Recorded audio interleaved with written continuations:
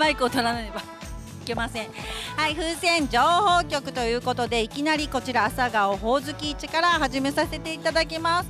この風船情報局っていうのはねどういうことをやるかと言いますとわらびの面白い人を紹介したり面白い場所を紹介したりいろんなイベントを紹介したり子育て情報を流していろんないろんなわらびのね面白いことをね紹介していきたいと思いますのでぜひ楽しみに見てってくださいね。で今日はですね第45回。朝顔ほおずき市に来ています。蕨駅東口で行っています。45回目です。昔からねすごいやってるんですけど今日来たあの朝来たおばあちゃんがずっと私住んでるのに知らないわ。どこに住んでたんでしょうか。なんて言いながら。はい、えー、やってます。今日はこちら朝顔ほおずき市に出てる方をですねいろいろご紹介していきたいと思います。はいさあルメリメロさんです。こんにちは、小林美奈子と申します。はい、じゃあどういうことをやってるか、はい、えー、っと水引きでアクセサリーを作ってます。あとご祝儀袋もこういう。私のおすすめ見てこのかんざし、金魚入ってます。可愛くない？で赤いのね淡路玉って言って、あのなんだっけ水引きで作ってるんですよ。すごいですよね。あとねこれもおすすめ。超可愛くないですか？淡路玉のブローチ。見て紺色にぴったり。ね？うん。どう？私は服につけるのは嫌いです。あれ？そうなの？そうぼ穴開くじゃん？やっぱ嫌だ。作ってんのに？そうでも帽子とかバッグとかのさチャームポイントになっていいと思います。帽子とかね？カバンとかねあとこちら美奈子さんがつけてるやつ見えますか？前前ずっと行っちゃって前ずっとずっとずっと。お肌が汚いのがバレちゃう大丈夫。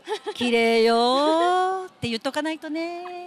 はい、という感じでやってます。あとね、えっ、ー、とワークショップとかもね、美奈子さんやってるんですよね。ワークショップもやってます。水引きで作るキーホルダーとか。うん、今度いつなんかやる？あれありますか？予定がありますか？えっとわらびじゃなくてもいいですか？いいですよ。夏の8月の20いく日かにあれ？ちょっとちゃんと言ってほしいわ。ごめんなさい忘れちゃった。えっと北浦和の西口で、えっと、水引きの猫のストラップを作るワークショップをやります。よかったら来てください。それはここにないのね。あ、そうないないです。芸別はさすがにちょっとまだ出てないんで。はい。えっとわらびでもね、あのいろいろやってます。今あのこちらの方のお店出してくれてる後でまた紹介しますけど、フラッグフラッグスさんの方にも商品が出てますので、ぜひそちらの方でも見ていただけたらあの本物がね見れますので、ぜひ行ってみてください。あとそちらでもねワークショップ今後ね、はい、やるかもしれないので、はい、ぜひそちらの方もチェックしていただけたらと思います。あのご本人これがね一番推しだそうです。編んで編んでます。めっちゃ編んでる。手手が凝ってるそうです。ああとじゃあこれで、ね、これもこれもこれも推しです、はい、このつる手切りです、はい、光ってます。もっと近づけます。はい。こんな感じですね。あのねクラフト作家さんはね見てほしいんですよ作品。しっかり見てあげてください。ということでいつもねあのシャレオツな美奈子さんでした。ありがとうございました。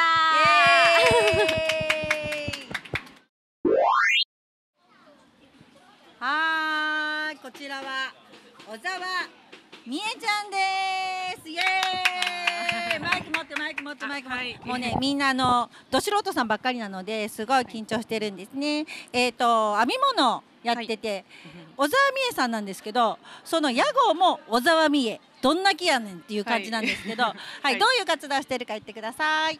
はい、えっと編み物のワークショップとか、あとあの編み物クラブをやっています。で基本的にあの子供もこのくらい小さいので、子供連れで参加 OK なとイベントを開催しています。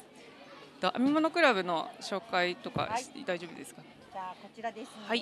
編み物クラブは市民会館でと月に2回第2水曜日と第4月曜日に午前中にやっています。で内容なんですがあの LINE アットのこのあのなんだアットマークからあの赤線のところを検索していただくと私の小沢美恵編み物クラブというあの LINE アットにつながりますので、えっと、興味ある方よかったら登録してください情報を流しますはいそれで、はい、これもね可可愛い帽子三点。あ、やこさんちょっとこれ反対かも。ごめん。分かってないやつ。でも。ほほぼ同じです。はい、こんな感じで、これはあの小人帽でちょっととんがりがあるタイプです。子供が被るとすごく可愛いと思います。こんな感じになります。あともう一種類。あ、やったよ。あ、これこれもやった。あ、そうあのこれもあのあれです。ボンネットなんですけど、あの可愛いねこういった帽子とかあと編み物はねいろいろ本当できるので、あの初心者の方からあの上級者までいろんなものを編みます。でね楽しくねワイワイとね、好きなもの同士でやるから、ね、あ時間もあっという間にねはい過ぎてっていう感じですよね。そうですね。うんはい。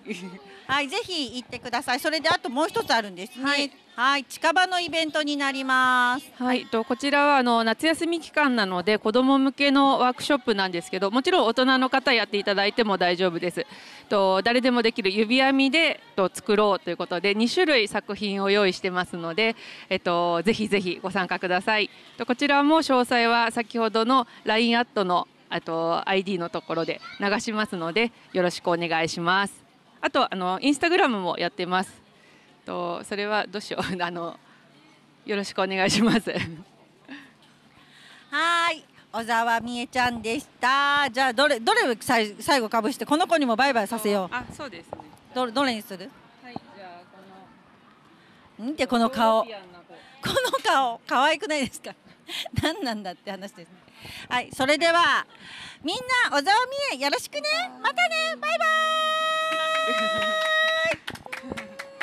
イ。むちゅ。さて次はここしばさんです。じゃじゃじゃじゃじゃじゃじゃイエーイ。はい、名物おじさんの。ここ芝の吉松です。よはい。ろしくお願いします。はい、ここ柴さんはですね、この蕨の駅からですね、ちょっと芝銀座っていいんですか？はい、芝銀座。芝銀座に入ったところにあるお店で、とってもユニークなお店なんですね。はい、じゃあいろんなイベントをご紹介ください。あ、えー、ここ芝の吉松です。えっとまず、えー、明日です。ハンドメイドスローマーケット。これ第33回になります。毎月第1日曜日にやっておりますので、ぜひお越しください。はい。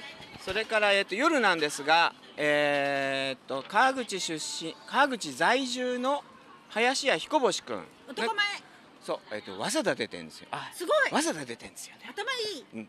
それで川口勉強会第5回川口勉強会を投げ銭で行いますのでお気軽にお越しくださいよければ奮発してあげてください、えーそれから、えーそれ15こっち13はいすいません。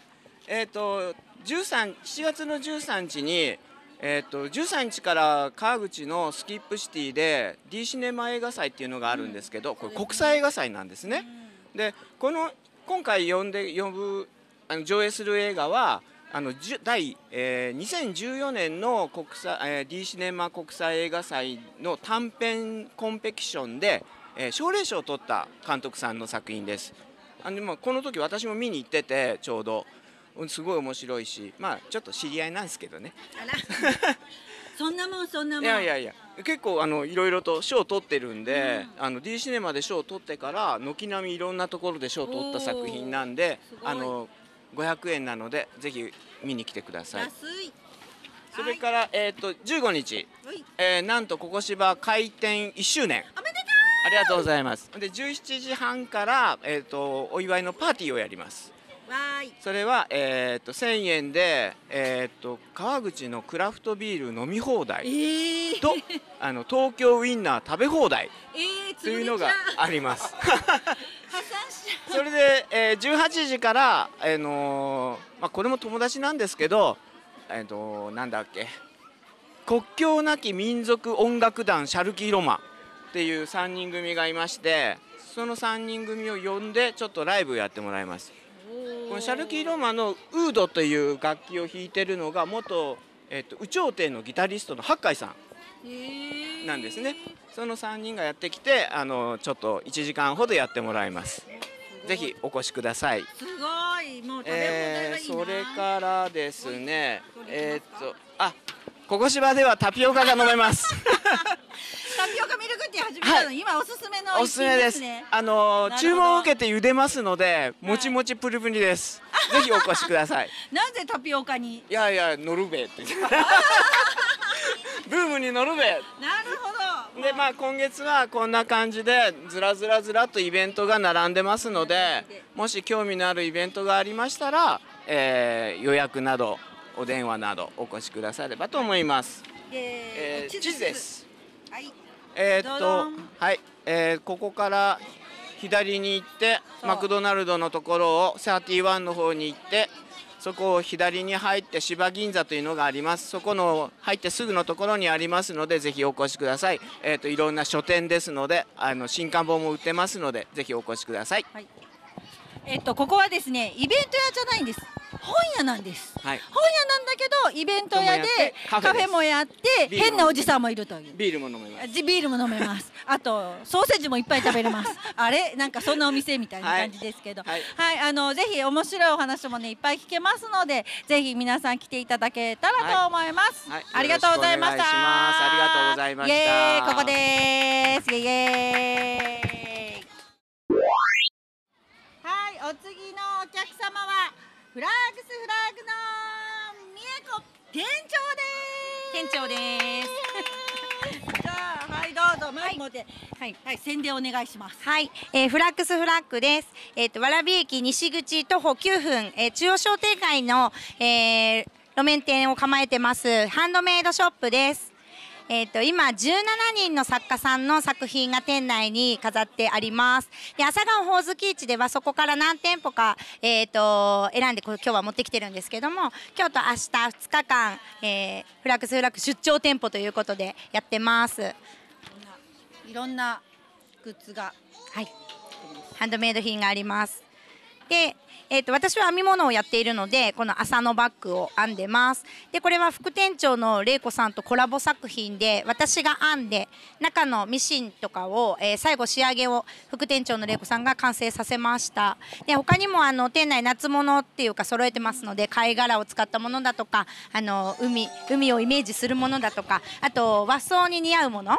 浴衣などの髪飾りなども用意してます。で今日と明日は一円玉落としゲームっていうのをやってますので、あのーそういうお縁日に来たようなつもりでチャレンジしていただければなと思います。みえこさん残念ながら放送は、うんお祭り終わった後なのあごめんなさいそうなんだそうなんだ。朝顔ほおずき市の話じゃなくていいのね。ごめんなさい。いいのよ、はいはいはいはい全然大丈夫、うんでそれでですね本当にあのーなんていうかボックスショップじゃなくって、セレクトショップ。作家さんのセレクトショップで、うん。なんかね入ると不思議な空間というかおしゃれなんですよすごく。でね店内店内も本当センスのいい店長と 副店長がこう飾ってますのであのおしゃれに見えますし、もう本当選び抜かれた作品がねいっぱいあるなっていう感じでもうどれもこれもね可愛くて、ね、欲しくなりますよ。ぜひぜひ遊びに行ってください。遊びに来てください。はい。中央のね商店街で、うーんと市民会館の近くで、うんえー伊勢屋さんの前で、前はいえーっとギャラリーの隣でっていう感じですかね。そうですね。はい、はいぜひお待ちしております。ほらこれも可愛いでしょイエーイフラッグスフラッグスさんでした。ありがとうございます。はい、お次はですね、もいもいもいの清水さんです。イエーイことで、なぜはい戸田ママフェスタ12月1日開催出店者募集っていうのから始まったかというと、どうぞ。はい、えっ、と私はエンジェルスマイルの清水と言いますけれども、戸田でもいもいもいとどっちあなんだっていういもいもいいいのよどっちもやってます。はい、えっ、とこの戸田ママフェスタは戸田で。えっ、と5年ぐらい前からやってるママフェスです。でここの今来ている人もみんな結構出てるんですけれどもまた今年も12月の1日にやります。で出店者さんを大募集中です。ですので気になる方はぜひこの戸田ママフェスで検索をしてもらえると細かいことが書いてあるのでぜひ見てください。はい。はい。もうね、あのーいろんなことね、うん。ママさんたちってね、うん。知ってると思うけどねいろんなことできる人すごく多いんですよ。そうなんで隠れですてるのよね。そうなんです。だけどどんどん出てきましょう。そうん。そうそうそうでみんな勇気を出してね。出てもう一歩出れば怖くない、うん。あなたもあなたもスターですなんて。それは冗談と置いといて、はいはい。あのーうん。こういったあの仲間もねできてすごく楽しいですし、あのーどんどん出展することで自分のなんか創作意欲もう書きね、あの何？書きじゃない。脇脇脇が出てくるので、うん。ぜひぜひあのお仲間を作るつもりで気軽にね参加してもらえればいいかなと思います。ですね。であのここら辺じゃね多分一番大きくなりつつある、うん。ねママフェスじゃないかな、はい。南部ね川口戸田蕨だと一番大きくなりつつフェスじゃないかなと思いますので、あのお近くね、うん。の方蕨の方も戸田の方も川口の方も興味ある方はぜひぜひ。そしてはい。ママでもパパでもあ。おばあちゃんでもいいおじいちゃんでも誰でも OK です。そうなのねはいもう誰でも OK にママフェスだけどいいのね だ OK になります。なので興味がある方はぜひぜひ見てみてください。あともう一ついいですか？どうぞはい。えっ、ともいもいもいはこれですね。こういうひんめりっていうのを、えー、と作っていますで、えー、と去年のこのわらび楽市でこのひんめりがデビューしたんですけれどもこちらの方もどんどん広めていきたいなと思いますのでぜひこちらもやってみてくださいはこれね意外に簡単に作れるって言ったらいけないかもしれないけどね、うんうんあの小さいお子さんでもできるんですね。でワークショップにもなりますので,、ではい。アクセサリーにしてもねすごい可愛いんですよ。ね、でねここれはストローでできています。なのですごい軽いのでもうお家のどこにでも飾ることができますので。ね、なんかさっきも去年作ったのまだ飾ってますよっていう,、方がいてすごい。すごい嬉しかったんですけれどもこちらもよろしくお願いします。はい。えで今度7月の15日にねん。クラフトカーニバルっていうのが戸田であって、そちらの方にもやっぱり出てるクラフト作家さんですので、はい。またよろしくお願いします。よろしくお願いします。じゃあとりあえず戸田ママフェスタのね、あのはい。はい宣伝をもう一回して終わりたいと思います。はい。はい、12月1日ではいよろしす。くお願いします。はい、じゃあ続きましてはですね、彩りキッチンノンシュガー甘酒アイスを作っている小松さんです。イエ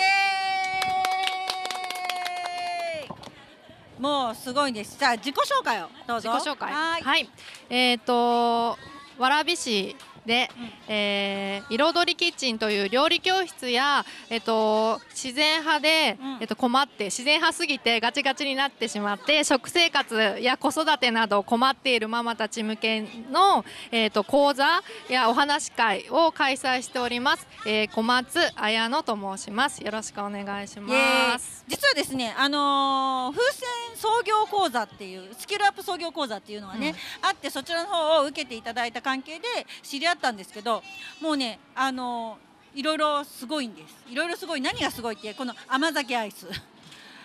乳製品一切使ってないんです。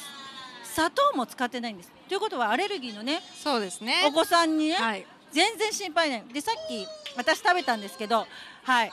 写真は多分入るかな？と思うんですけどあの甘いの。でお酒の味がなんでしないの？えっ、ともともとの甘酒が米麹から作る甘酒なので、米麹とあとご飯とえっとお湯だけで作るので。ご飯入ってんの？そうですね。あのあの甘酒の作り方っていうのはご飯とあの麹を使うので、ご飯だからあのまあふあのスイーツなんですけどもご飯ですこれ。ご飯食べてるもんなんですよね。糖質ダイエットしてたのに。ああ大丈夫です。あのこのこの糖質は大丈夫。そうあなの？ねの砂糖の糖とあのーご飯の糖は全く違う別物なので、この糖は砂糖の糖じゃないから大丈夫です。そうなんだ、はい。すごい。でもねあのシャーベットとアイスクリームのね間のねとってもなんか不思議な食感でね美味しいんですよ。これねほんと食べてほしかったのでえっ、と次回ね絶対どっかで機会を作りたいと思いますので 今回朝がホーズキッチンこ来れなくて食べれなかった方もぜひ試していただきたいと思います、はい。じゃあ何か宣伝はありますか？宣伝。はい、うん。えっ、とノンシュガーってなかなか難しいんですよね。砂糖を断つっていうのは本当なかなか難しいんですけども、持ってないこういうあのー砂糖なしでも満足できるスイーツが、うん。あのー簡単にできるので、ぜひあの私の教室に来ていろんなことを聞いてもらいたいなって思っております。はい。あじゃあ今度じゃあ風船でもやろっかそうですね。なんかね、はい。あのー糖質オフじゃなくて、うん。なんだろうアレルギー砂糖。オフの、うんうんうん。シュガーオフの、うん。なんか料理教室、まあスイーツとか作るうんやつでやる、ねうん。じゃあやり ます。やります。どこかでやります。はいお願いします、はい。その時はまた宣伝します、はい。ということで彩りキッチンの小松さんでした。はい。イエーイ。ありがとうございますさあ続きましては戸田わらびアムアムの会のあやさんといくみさんです。イエーイ。はいということで喋る人はマイクを持ちましょう。えー、私はいはい。じゃあ戸田わらび、えー、アムアムの会の説明お願いします。えっ、とこの回はあの私がもともと編み物が好きでえっ、とまあ戸田のえっ、と朝市によく出てるんですけどえっ、とあ食べないで。そこでですねなんかこうつ私も作るけど私も作るけどっていう人がよくいてあじゃあなんかもしかしたらこ声かけたら人が来てくれるのかなと思って、えー、と会を始めたんですよ。そしたら、えー、と隣の郁美さんが、うん。えー、と引っかかってくれて。ああ。引っかかっちゃったのね 釣れました。釣れたのね。大量じゃないですか。そしたらものすごくあの編み物が好きな人で。でなんかそういろいろ編んでるうちにこのですねさっきから出てるこの。このゆるりと編み物をしませんかっていうねゆるりとっていうのがすごくいいですね。編み物になんか合ってる感じがします。お仲間募集中なんですね、はいえっ、とこれはじゃあえっ、と多分ねわらびの方はわらびネットワークステーション戸田の方は市民活動サポートセンタートマトに行けばあのつながる感じだと思いますので、はい。編みアムアムの会に興味のある方はそちらの方にぜひね、えーはい。連絡をしていただければいいかなと思います。じゃあこれこのワークショップも紹介しちゃいましょう。はい。どーんとお野菜、はい。あーかわいい。どうぞ。ええっ、となんだろうお野菜をお野菜をアムアムはワークショップですね、はいそうですね。で7月25日どこですか？これ。ここはですねあのえっ、と弓カフェさんというところで、うん。えっ、とご戸田公園の、うん。えーちょっと歩いてあのアイパルのそばにあるゆうん。弓カフェさんというところであのワークショップを、えー先週からあ先月からやってるんですけども、うん。月一にあの野菜を一個ずつこう編んでこうっていうのをすごい始めました。えじゃあ12ヶ月出たら12個の野菜ができるんですね。そういうつもりです。い。ねあの戸田の弓カフェさんもねちょっとクラフト作家さんの間じゃちょっと有名なねカフェだったりしますよね、はい。あこれ楽しそう。この2400円っていうのは毛糸代も含まれてるんですかね？そうですね。この毛糸はまあ初心者にうん。あのちょうどよくあのアクリル毛糸で編みやすくなってまして、えこれでじゃあ物洗ってもいいの？うん。洗えますね多分。洗えるんだえー、でもお子さんのね遊ぶねおもちゃにもすごいいいと思います。優しい感じのなんです。ナスこれもね。ビほらね今ねいい感じですね。でお子さんに連れる前に実はここの子に連れたっていう。ああなるほど。ワンちゃんの遊びにもいいっていうやつですね。ほら可愛い。写真見えるかな？ワンワンちゃんも遊べるよっていうような感じでやってるそうです。ぜひじゃあアムアムの会にね興味のある方はえっ、とぜひ入っていただけたらと思います。じゃあこれをだ最後に出して。はいじゃああやさんといくみさん。はいありがとうございます。戸田わらびアムアムの会です。よろしくお願いします。します。はい、続きましてはですね、蕨市商工会議所青年部会会長でいいんですか？の門脇さんです。イエーイ。どうも。はい、門このまま脇さんでよろしいですか？大丈夫ですよ。え、えっ、とこちら最初にはい。紹介しました、ワランチューフェス、はい、はい。紹介してください。はいすいません。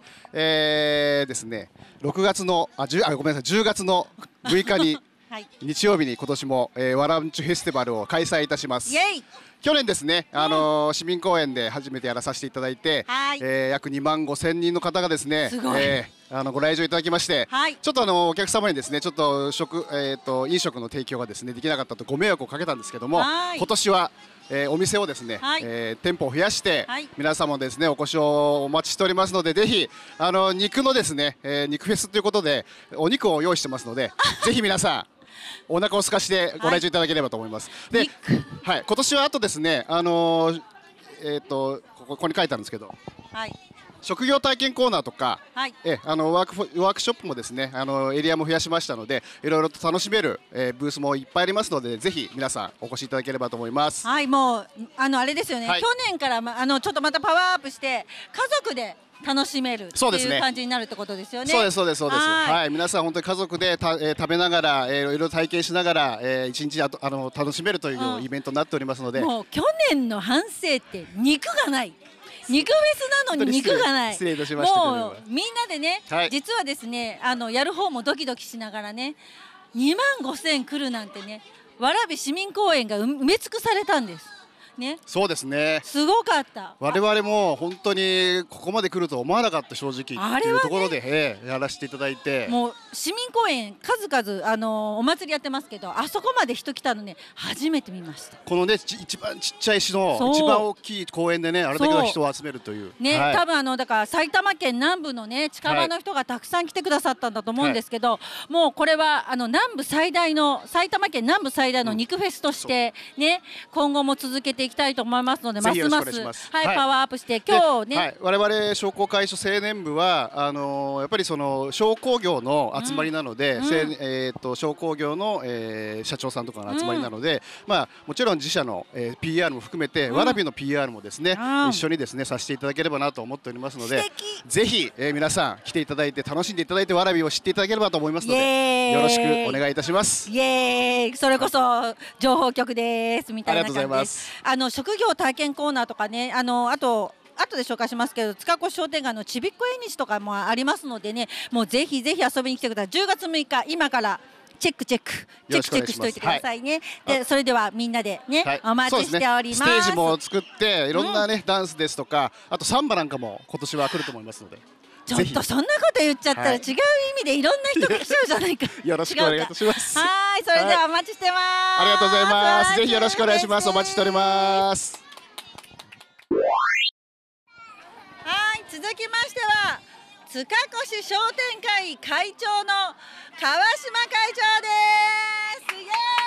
皆さんこんにちは。あら緊張してますね皆様こんにちは。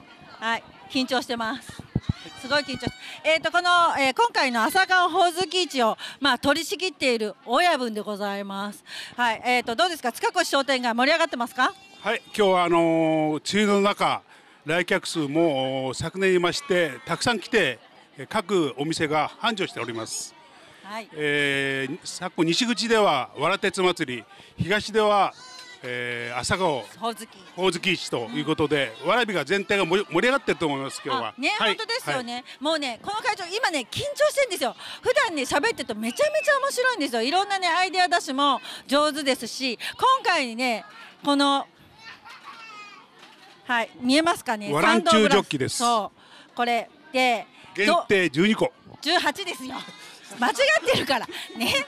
本当はこれ18個で1500円で売ってます。それでジョッキ割っていうのもあってこれを持ってきてもらえるとビール50円引きで飲めるっていうアイデアを出したりもうね会長太っ腹だから安く出そうとするの。いやそれはちょっと安すぎるからビールに水混ぜてんじゃないの？なんて言われるんじゃないって言ってちゃんとあの普通の値段にしてもらって本当太っ腹な会長さんです。ね。で先ほどあの紹介したあのワランチュフェスにもね、あの毎年やってる子ども祭りであのちびっこ縁日で、今年も10月6日、うん。えー商工会議所青年部に声をかけられて、えー今年はヤギを10匹か 20匹持っていこうかと考えておりますんでまたあの市民公園で大盛り上がりになるように、えーはいダメです、って言ってね止めないと本当にもうヤギいっぱい連れてくるんですよ。でヤギを誰に連れさす私に10匹引っ張れって言うんですよ。ひどくないですか？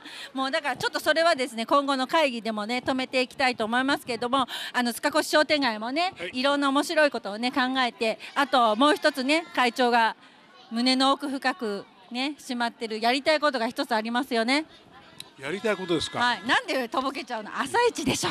やりたいことは今回朝市と称して一応やったんですけどいまいち朝顔ほおずきが強くて盛り上がってくれないんです。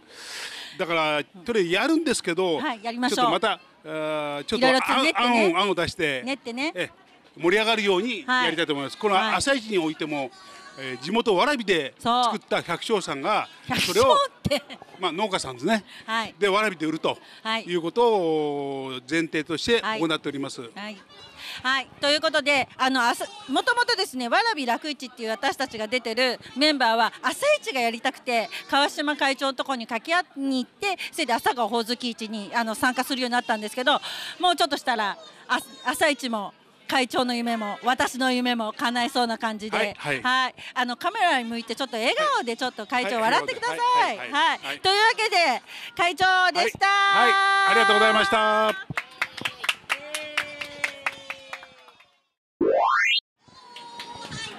続きましてはですね、ペイントプチリフレの花さんです。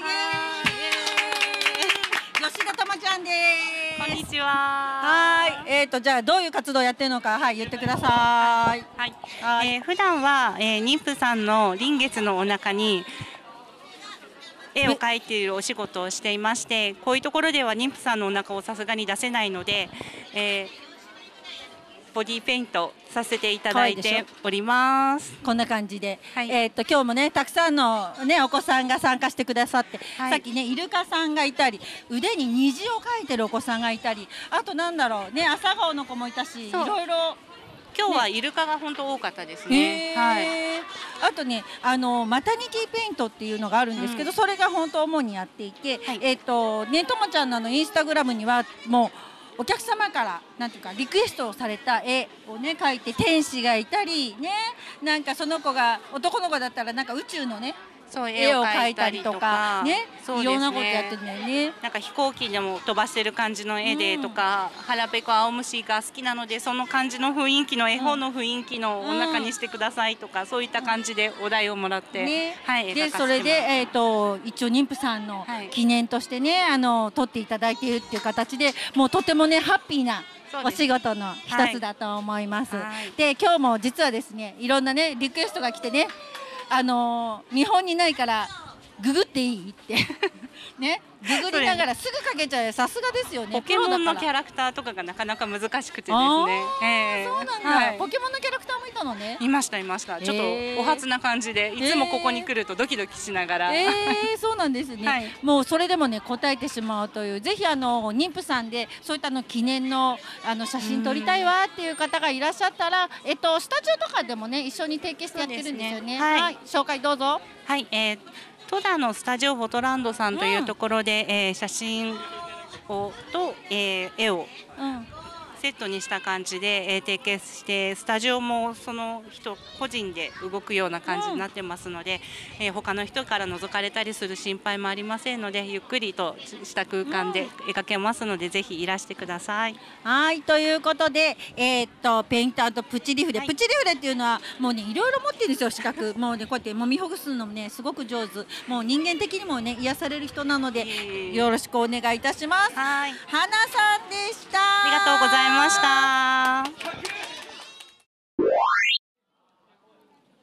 はいじゃあ続きましてのゲストです。じゃーん。はいこの人知ってる人。意外に有名人です。はいわらび楽市のなんだろうマネージャー。はい田中雅子ちゃんです。イエーイ。はいこんにちは。はい。えーとじゃあちょっと楽市のことをねあの、はい。私と一緒に立ち上げたんですけどわらび楽市をですね。はい楽市をちょっと紹介してください。はい、えっと、わらびの楽市はですね、えっと、ハンドメイドの作家さんや、あとはあの普段お店を持ってないんだけど家で頑張ってるあのママさんたちを応援しています、であの主にイベントで出店をしています。みんなで出店しています、えっと、わらびの楽市でこの朝顔ほおずきは2回目でこの後は、えっと、この後ろに書いてあるあの9月1日のわらび市民音楽祭でも出ます。この時はなんとコスプレします。コスプレだよ。見たいだろう。あ大丈夫大丈夫。えっとねこれねすごく面白いです。わらおんはあのわらびって昭和って言われてるじゃないですか。あのどっちかっていうとディスられてる昭和の方でわらび取り上げられてますけどそれを逆にディスられてるのを拾って面白くしようと思っています。なのでこちら昭和歌謡ね紅白歌合戦に乗っかってわらび楽市はみんな昭和の格好で売り子さんします。いろんなもの売りますよ。私もあの駄菓子を売ります。めっちゃ喋ってますけど、はい。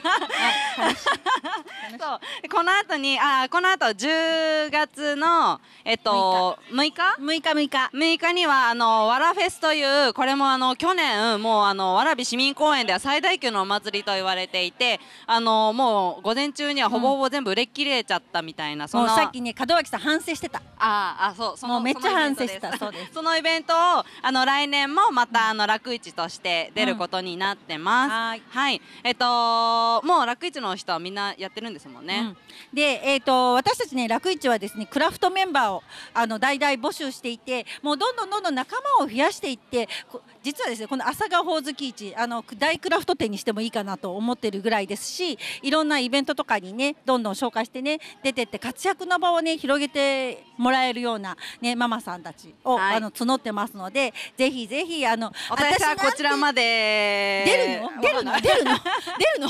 あのそうもうぜひぜひ応募していただけたらい。いかなと思いますけどはい、はい、あとはですね、今日はあの私たちが着てる服をちょっと紹介したいと思います。すねはい。すいませんね、急にお尻なんですけども、このわらび上田というこのロゴですね。あとは、あと頭につけてるこのこれですね。これ二氷です。であの蕨市が認定しているわらびブランドというのがあって、まあ、これ以外にも、あのーこれはねブラスト工房さんわらびガラスってやつですね。サンドブラストで加工しているやつです。っていうこのわらびブランドもあの勝手に応援してます、このわらびの上田のやつはこれ飛び服なんですね。これ足ごめんなさいね。こんな感じです。になってます。ジャスミンみたい。可愛い。カットで。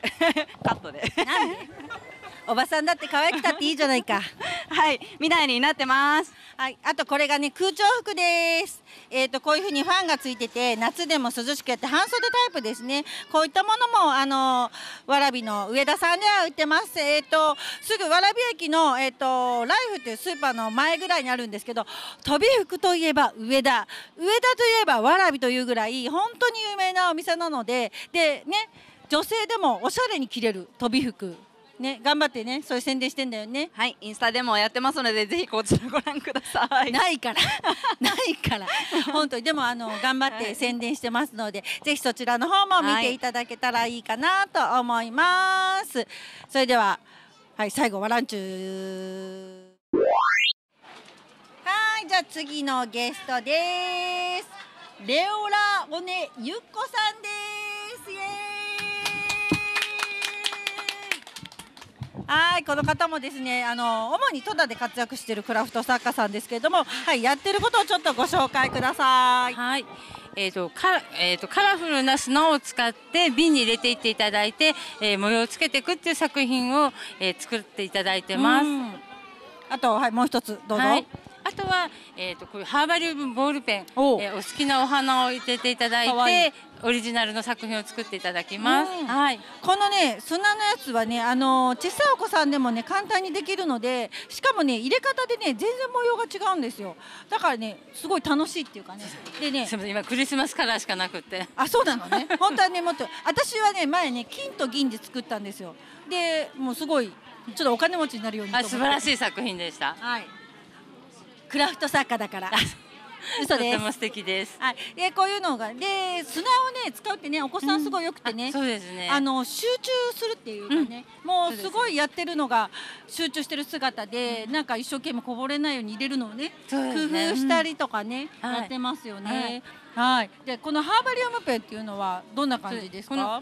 元々このハーバリウムっていうものがあって、えーオイルにお花を入れていただくんですけど、今最近流行ってるのがこのボールペンが需要が多いです。あ、そうなんだ。えー、これって中のボールペンって入れ替えたら使えるのずっと？はい、返しもずっとあるので、おーじずゃあっと使っていただけます。自分のオリジナルで母の日のねプレゼントとか敬老の日のプレゼントとかねお花好きな人多いから喜ばはいれるかもしれないですよね。はいなんか今後のなんか予定とかありますか？えっと次は、多分言われてるかと思う。戸田のクラフトカーニバルに。あそうですね、はい。7月15日にクラフトカーニバルに出ますね。はい。あの戸田の方のあのいろんな銅満であるねねイベントとかも出たりとかすごい活躍されてます。いやい。やいやでね本当人気だから並ぶんです。今日もね切れ間なくね。ありがずとうございます。ーっと並んでましたよね。あの何回も出てますけど去年のあのワランチュフェスティバル死んでました。並びすぎて。で瓶瓶がなくなって。もう走り回ってねゆっこ倒れるかと。い。う。ぐらいな大活躍をしてたんですけれどもあのぜひこういった、ね、夏休みあの夏とかもねこういった涼しげな、ね、作品これ貝入ってるの分かるかしら？貝が入ってるんです。こういう涼しげなね作品とかも作っていただけるのでぜひこういったものもやってみるのも楽しいんじゃないかなと思います。はい。それではゆっこさんでした、はいありがとうございました。